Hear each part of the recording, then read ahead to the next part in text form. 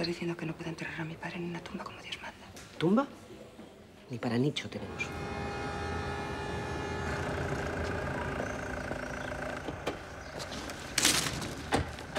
¿Me dices en serio que quieres reabrir los billares?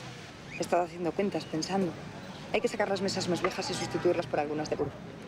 Hay que pintar, cambiar las lámparas, tirar todo lo viejo. No lo dice en serio. Jugaríais vosotros. Tú de capitán. Y tú de Mirona. ¿Estás de acuerdo entonces con lo del equipo? Con una condición, de suplente nada. Siete mesas de billar francés. Las eliminatorias son en octubre. Si las pasamos, entramos en la liga para esta temporada.